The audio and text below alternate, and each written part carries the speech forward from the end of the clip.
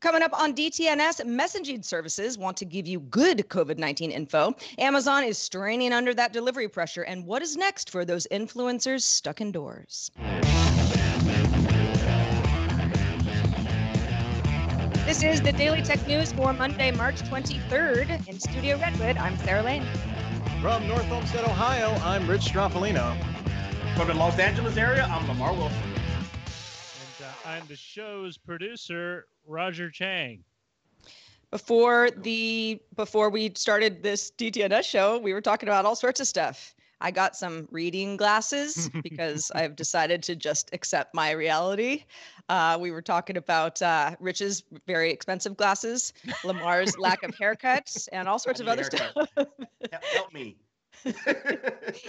and that is all part of our expanded show good day internet. You can get the wider conversation by becoming a member at patreon.com slash dtns for now let's start with a few tech things you should know Disney Plus will still launch in most of the EU on March 24th, but committed to reducing bandwidth utilization from the service by 25%, similar to what's been done uh, with Netflix and other streaming services in the EU. Disney announced the launch in France is delayed, however, until April 7th. The company also indefinitely suspended the launch of the service in India, originally scheduled for March 29th. Google launched its dedicated COVID-19 information site at google.com slash COVID-19. The site is available in English with a Spanish version on the way and offers state-based information, safety and prevention tips, search trends related to COVID-19 with information from the World Health Organization and the US CDC, as well as links to US states' local health sites. All this information will also be provided in information cards for people searching for COVID-19 related topics. A new report from Strategy Analytics shows that global smartphone shipments in February decreased 38% on the year from 99.2 million units to 61.8 million. This is the largest annual drop in shipments, with a report noting that the COVID 19 break in uh, or outbreak in Asia dropping both supply and demand. Quite a drop. As part of the local state government's lockdown order, ride hailing platforms Uber and Ola suspended all rides in Delhi under Mar- uh, until March 31st in India. Uber suspended all shared rides in India last week, and Ola said it's restricting ride options in the country as well, focusing vehicles on healthcare workers and those that support public services. All right, let's talk a little bit more about uh, some apps and services doing some good for information, Rich. Yeah, it seems like mobile messaging is becoming increasingly important in providing information about COVID 19. Uh, to that effect, the World Health Organization launched a chatbot on WhatsApp for COVID 19 related information. Information is updated daily and it launches with English support with Arabic, Chinese, French, Russian, and Spanish support arriving in the coming weeks, although no set timetable specifically. Uh, in other news, though, kind of similar, Facebook announced it will provide free service to government health organizations and UN health agencies to use Messenger to scale their responses to the COVID 19 crisis. This can be used uh, for Facebook developers to help automate things like answering uh, commonly asked questions so you're not inundating support workers with those where there's a ready set answer for that, and provide a way to set out uh, mass updates of new information. And finally, uh, kind of tangentially to this, Apple updated Siri in the US to provide a CDC approved conversation flow to answer user questions if they ask Siri, hey, I, or if they tell Siri, I think I have COVID 19 symptoms. I I started with WhatsApp because I was like, all right, I've got WhatsApp installed. Let's see how good it is. And I was pleasantly surprised. It's a it's a number. The country code is Switzerland, so it took me a minute to find it uh, in the country mm-hmm. code list. But it's a number, and you message it and say hi just to kind of get the conversation started. It's a chat bot, and it was pretty good. I mean, there was a lot of information there. It was organized into categories like, you know, health information, uh, depending on where you are, you know, uh, safety steps that are in place. There was also a, and they're all numbered, you know, so you can say like number five, let's get more information about that. Uh, one of the categories is uh, you know, debunking conspiracy theories uh, because there's a lot of misinformation going around. We all know that. And WhatsApp is doing its best, especially because it's WhatsApp, and that's a platform that a lot of people use to spread information, uh, saying, listen, you know, if you hear that if you live in a really cold climate, uh, you're not going to get it, or if you get in a hot tub, then it'll kill it, or you know, there's if you gargle with a certain kind of, you know, this or that, you you're fine, or there's all sorts of you know and i hadn't even heard some of these you know the, these these misleading claims but uh, suffice it to say there's a lot going on right now and so I, I thought that was pretty good. It does take a couple steps to get to that point though, and don't want to be a pessimist, but I know a lot of people don't go through the process of educating themselves because a lot of social networking is is getting information somewhat passively from people that you trust whether or not they should be trusted. Lamarr, what what do you uh, what's your experience with this?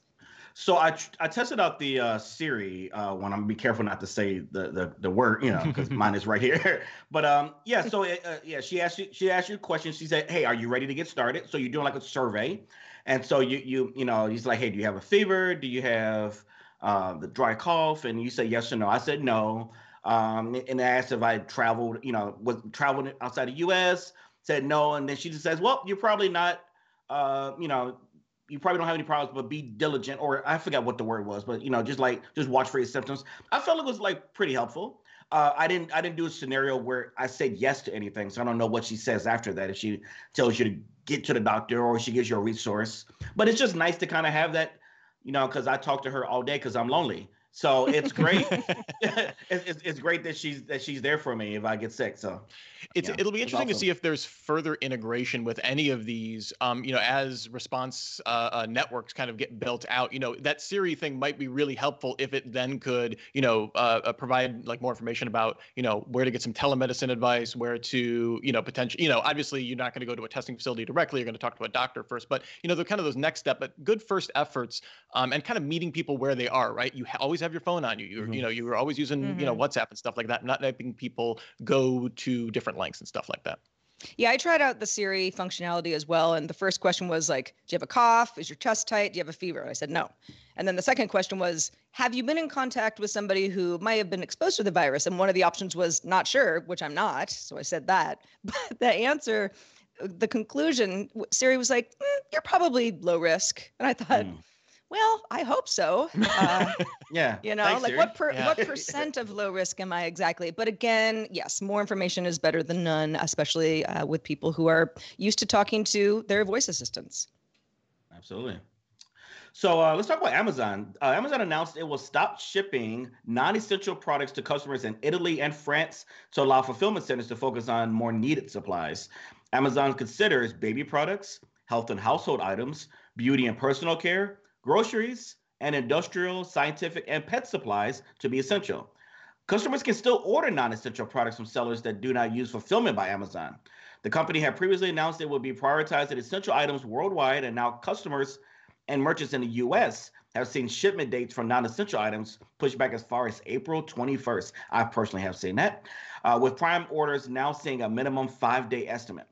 Amazon confirms that this is not a technical bug, but accurately reflects current estimates. So uh, once again, yeah, I, I, was looking for some, you know, I'm set setting up another part of my office, looking for an item I needed, and it was just like, yeah, it was. I think it was April something. It was just, it was. They didn't, they didn't even like give a clear de- delivery date. It was a kind of a delivery window, so it was not fulfilled by Amazon.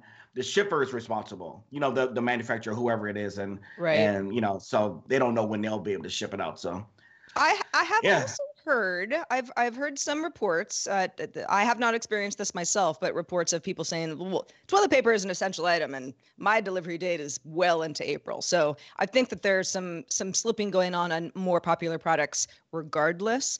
I love that Amazon had to confirm this isn't a bug. We're really, really backed up. yeah, yeah, exactly. And it looks weird.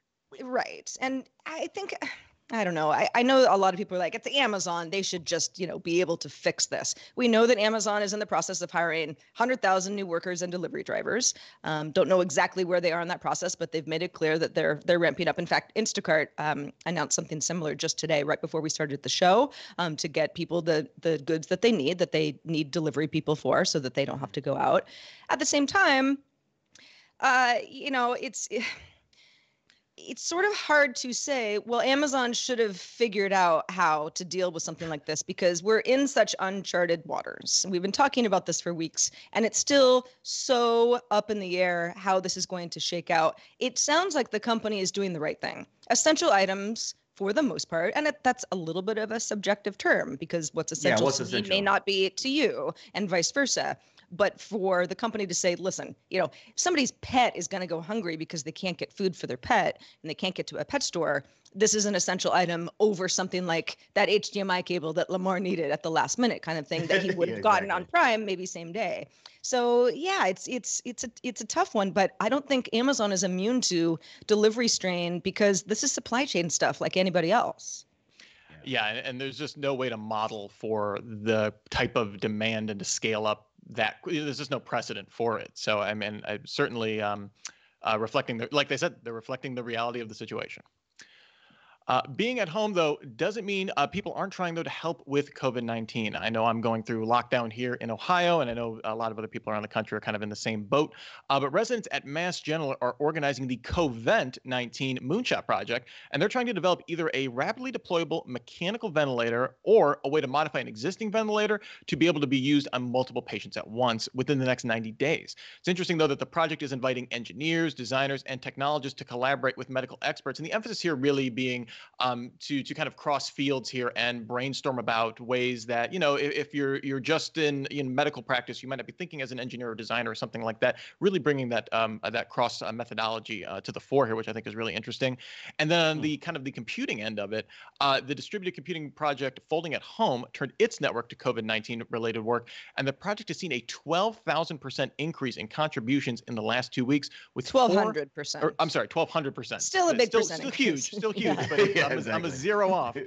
Uh, and they've seen 400,000 new members. So just uh, just a giant spike for them. Wow. Uh, th- with those new contributions, they're up to 470 petaflops of output uh, to simulate the dynamics of COVID-19 proteins and to hunt for new therapeutic opportunities. And and just for some comparison, there was another uh, news story out today that um, IBM was leading a consortium of national laboratories and the Department of Energy and that kind of stuff, and they were in the 300 petaflop range of all their computing, like 16 supercomputers combined. So just got to give some context for how how much computing power is theoretically at the disposal folding at home. Um, just really cool to see these kind of uh, you know kind of uh, crowdsourced or grassroots um, ways to try and help um, and, and we've seen this across the spectrum, not just from a technology basis, but just people, you know, just eager to reach out just to just to help with um, you know, people that are lonely or anything like that across the spectrum. And technology is is proving to be no different in this regard. So, I, so quick question. I'm I'm a little familiar with folding at home, not much. I, I know what they do in general, but um, is there a project out there that you'll be able to, you know, contribute your computer that's sitting around that's at, at, at your house? Oh, that's, yeah. that's literally what this is. Okay. Yeah. I didn't, yeah. I didn't I didn't know we could contribute. I thought they they were doing their own servers. No, uh, I mean that that is the reason that there's been such an uptick in participation. In fact, we talked about the fact that Folding at Home was going to focus on COVID-19 related work again to try to figure out, you know, what protein situation can actually really be helpful for doctors and the more the merrier when it comes to this kind of research. It is very heartwarming to see what the participation levels has been. I mean, what why did they announce that about two weeks ago? I mean, that's that's that's a that's a lot yeah, of folks. No, I want to sign up. I want to sign up my computer. Totally, yeah, same. Yeah, yeah, that's okay. uh, and and the 3D printing space. And and I know when Allison Sheridan was on the show recently, and she was like, well, quality control. I mean, that's certainly something that we have to look out for because there are lots of solutions that might seem easy to make, and we have some tools that can be uh, contributors to this sort of thing. And she makes a good point, uh, and I think. Uh, you know, cautiously optimistic is a good way to look at this. But yeah, the folding at home stuff is is very cool. So thanks to everybody who's participating. Strength like in numbers. This, oh, what the real Silverblade in a in a uh, Twitch chat said. I hope former Bitcoin miners turn their power to COVID nineteen. That would be great. Yeah, wouldn't would, yes, awesome yeah, yeah, yeah, because some server farms used for good.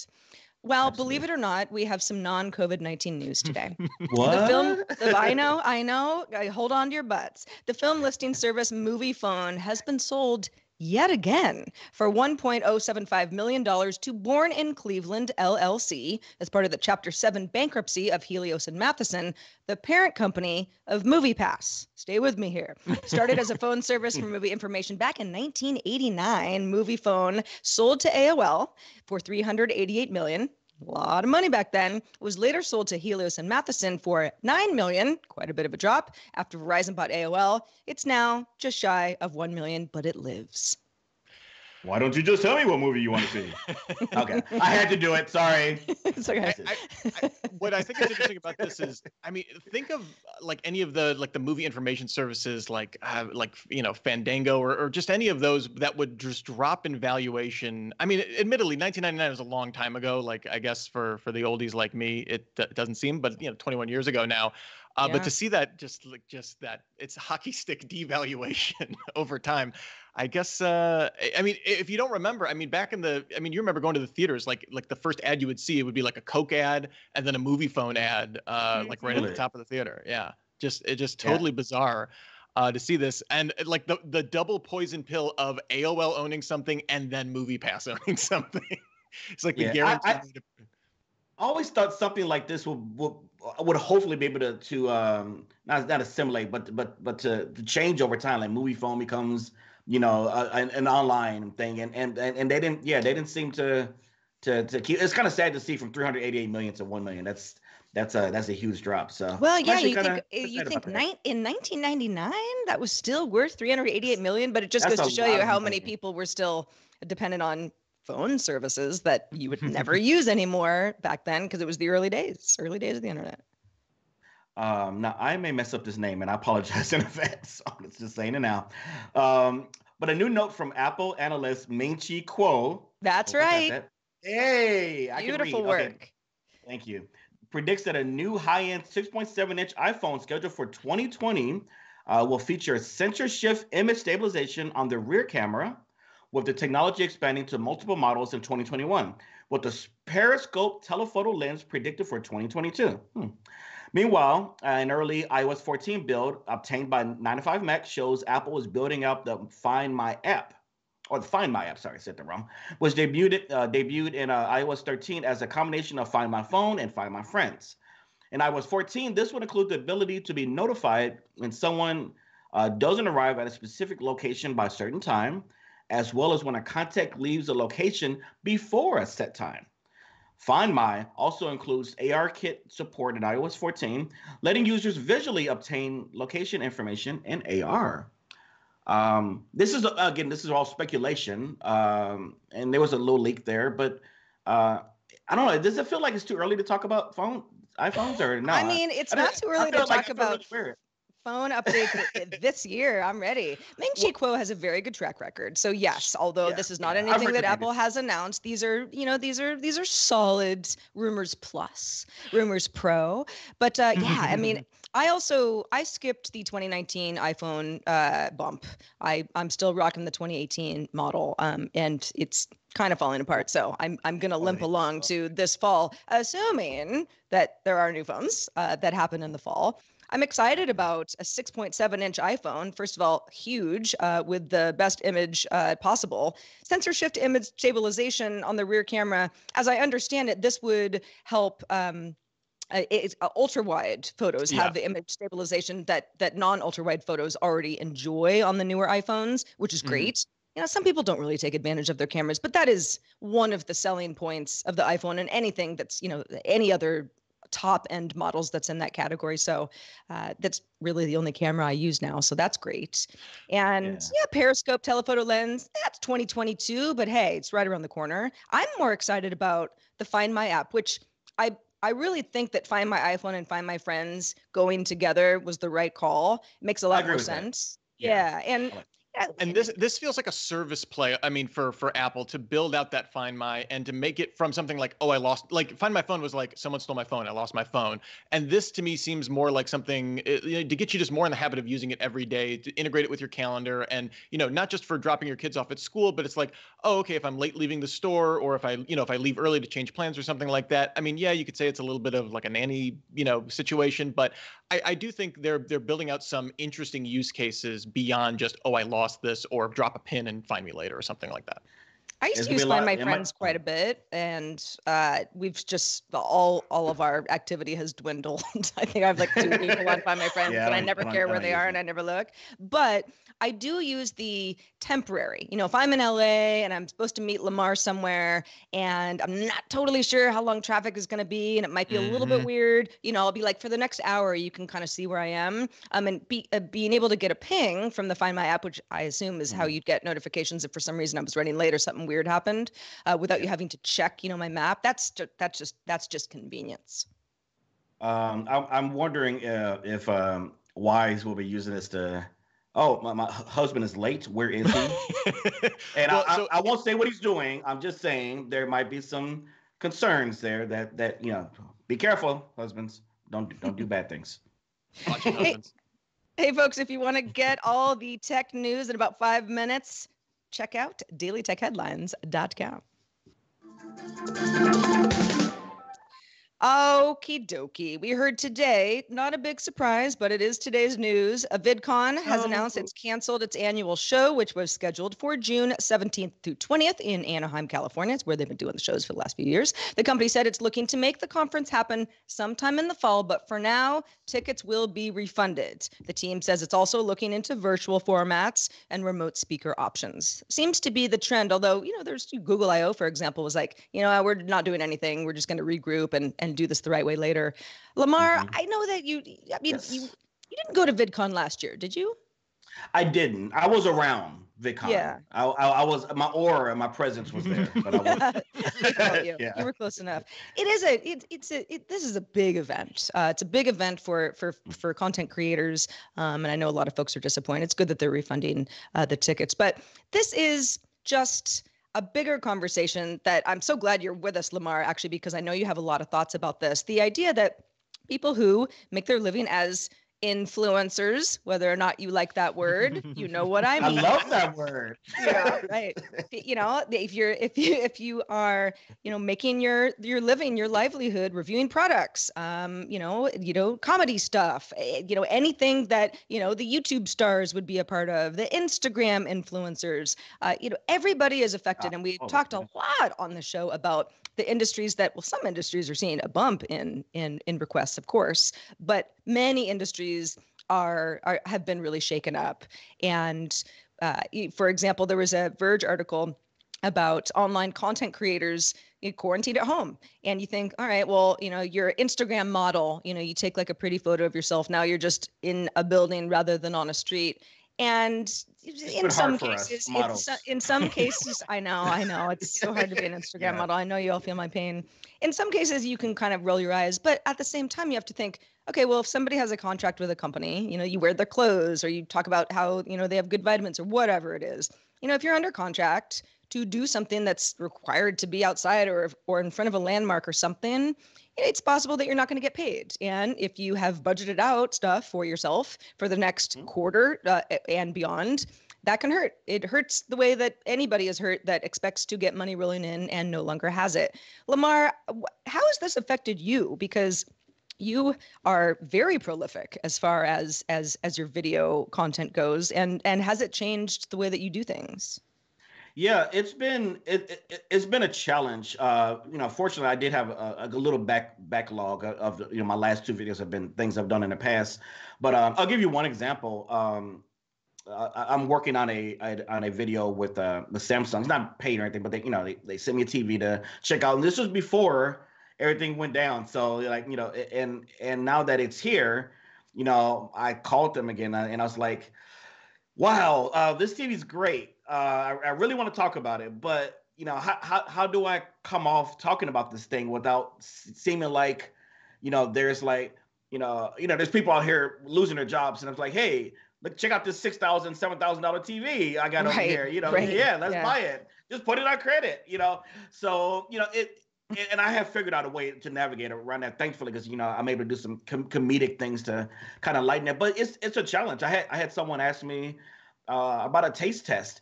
And not that there's anything wrong with doing a taste test, but it made me immediately question wow, you know, is this the right time to be, you know, frivolously playing around, playing out with cereal or stuff like that when mm-hmm. people can't get groceries? That's just that's in my head. So I am I'm just uh, being a little bit more cautious uh, about how to navigate this, and and you know I came up with some tips uh, of my own of how to uh, maybe a rubric or so how to come up with this. And uh, what I found out, I talked to my audience that by and large, the audience is, is just as stressed as, as, we are. They're they're going through a lot of things. They're scared, whatever. They they really want us to continue to do what we do, you know, and and they want they need entertainment.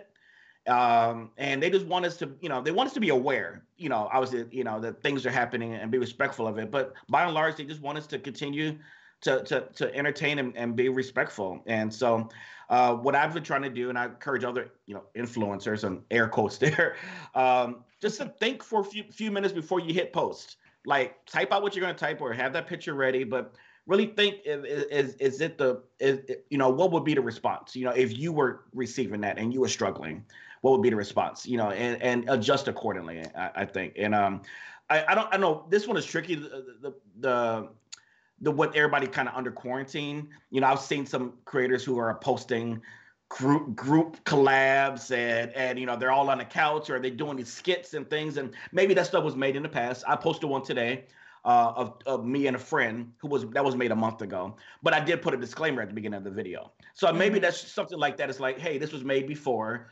You know, we I just finished it. You know, or maybe just don't post it or you know especially if you're doing it in real time. Like if you're actually out there gathering i mean these people are looking to you as a role model whether you like it or not. Uh, so uh, maybe not do that because you're then telling them that it's okay for them to do. And then it, that causes a chain reaction that none of us want. Absolutely. I, I think it's i've definitely seen don't mm. have to call them out. Don't have to dox the mm-hmm. celebs oh, I won't but i've definitely seen some some stuff online where i'm like okay, I get it. You're stuck at home like the rest of us, but you're in a mansion. You know, there's, there's there are certain yeah, things see? where you're kind of like it. It. I don't think that you know your message is in poor taste. I, I, you're trying, right? You're trying to use the the the the media that you have at your disposal to connect to people in new ways, and I can't hate anybody for that that said, there are some tone deaf things I've seen recently where I'm like, you should have chosen Lamarr's tip number two. Just think on it for a few minutes. Just just a few minutes. Just, see just if you don't have your kid don't, don't, don't, have your kid on a hoverboard, you know, flying around the backyard. I won't say who it was. We probably think it's the same person. Mm. But it's just like it, it, just sent yeah, it just sends a weird message. Uh, it, it's it's really it's really awkward. I don't know. Yeah, there's a definitely a line to walk between, like you said, not wanting to be insensitive and be and you know, kind of like posting something frivolous that that people would say, well, you know, we're we're you know worried about our health and safety right now. You know, we don't need expensive technology.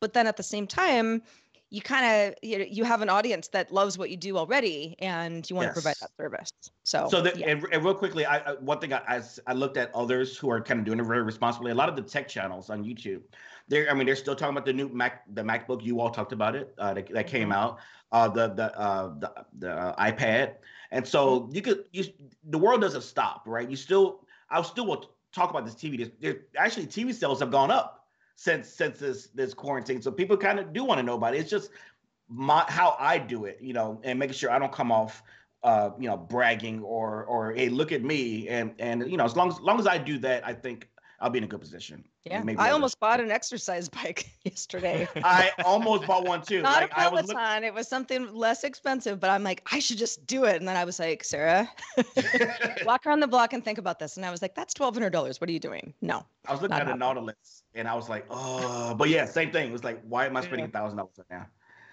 uh, if you uh, if you've bought something because you're stuck at home that uh, has improved your life, we would like to know about it. In fact, you could join the conversation in our Discord and let everybody know. You can join by linking to a Patreon account at patreon.com/dtns. In let's the mailbag. In the mailbag. Yes, let's. Uh, in the mailbag, Michael, he, he actually touched on something that we often talk about internally here on the show. And it's sort of like, do we have uh, you know, words that we, we'd always like to replace with other words, or if there's a sentence that's kind of eh, a run-on sentence, how do we condense it? So there, there is a we, we have a flow here. And Michael says, I know pretty much everybody has given up on saying iPhone 10 in favor of iPhone X. Michael, I s- still say iPhone 10, but I know what you mean. Michael says, It's been a mm. surprise, though, how often I've started to hear X instead of times. The other place I often hear it is with dimensions. If some something is 15 by 12 centimeters. See, I'm already saying I'm already uh, saying by instead of x. 15 x 12 cm. Michael says, used to be said 15 by 12 centimeters, but I often hear 15x 12 cm. Michael Who says, I realize, I don't, I don't. I realize these are common forms of writing, but to have them said that way has gotten to be jarring, but also common. And sometimes I have to write down what's being said so that I can see it and understand. You know, he Michael's email was a little bit longer. He also had another example where it's like something. Let's say we're talking about the the new iPhones and the camera capabilities, and it's like five x zoom over previous model, something like that. I'm just I'm just making up a term. If you said five times zoom, that's technically correct, but it sounds a little bit weird. And so I think that there are situations where we know that you know what 5x means, even though it is a little clunky. I'm not sure. I'm I'm not sure if anybody uh, feels that one or the other is grading, but I feel your pain, Michael, because there are certain, in fact, there are certain words that are banned on DTNS for a variety of reasons because we've all just come to the conclusion that we could say it a different way. So uh, this is not one of those terms, though, and we should think about you know what our standard is. Uh, If I hear Now I someone wanna say know these- CM out loud, I'm just like, what? Oh God, is yeah. hap- what Well, that's hap- like CMS to me. CM. yeah, is- yeah. is I'm just something like, I wouldn't even think a unit of measurement. Yeah, that's it's. Yeah. uh Exactly. Uh, but thanks for the email, Michael. And thank you. A special shout out to our patrons at the Master and Grandmaster levels, including Philip Less, Frederick Hubner, and James Callison. Thank you so much for your continued support of the show. Absolutely. Also, thanks to Lamarr Wilson. I missed you, Lamarr. I feel like it's been six months, even though it's only been one. Uh, but uh, I- it's, been, Thank you. it's been a it's been an interesting month. How have you been keeping busy?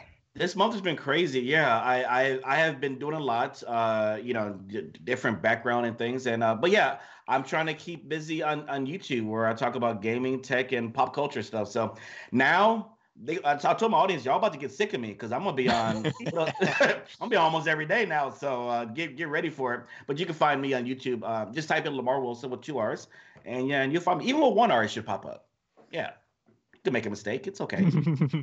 Very good. Uh, also, thank you so much to our patrons. We know that this is an uncertain time for a lot of you. If you can afford to keep supporting us directly, please do. We appreciate it so much. Some of you have recently bumped up contributions to cover those who need it right now. Thank you so much for that. Uh, again, strengthen numbers. Direct support is the best way to keep us independent and support the livelihoods of the whole DTNS team. We are so so grateful for all of you. Um, you you help us make the show fun, and we love doing it. If you find yourself in a situation where you do need to cut some costs, we completely understand. We have other ways you can support the show. Other folks here on our Patreon who can pick you up in the meantime, and you can always promote the show to others. It's a great way to support us and get the word out. Reminder, you can support the show at any level at dailytechnewsshow.com slash Patreon.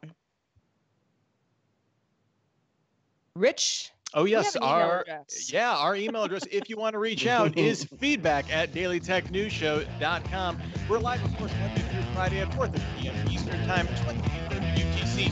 Find out more at dailytechnewsshow.com slash live. Tom is back tomorrow along with Patrick Beja. Talk to you then. Bye.